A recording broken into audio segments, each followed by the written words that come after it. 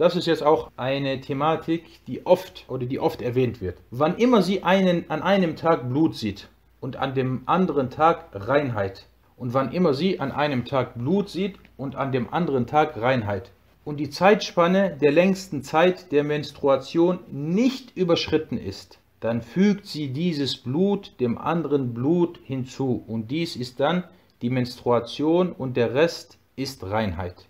Wenn es aber die längste Zeitspanne überschreitet, dann ist es nicht menstruelle Blutung. Das bedeutet, sie hat am fünften Tag gedacht, sie ist rein. Und am sechsten Tag hat sie wieder Blut gesehen. Dann wird gesagt, das wird alles weiterhin der Menstruation hinzugefügt. Das alles ist Menstruation, die Monatsregel. Weil fünf oder sechs oder sieben Tage, so lange kann die Menstruation dauern. Sollte es aber länger sein, sie hat zum Beispiel jetzt am achten Tag war sie rein. Sie war dann rein und dann irgendwann am 14. oder am 15. oder am 16. Tag sieht sie wieder Blut.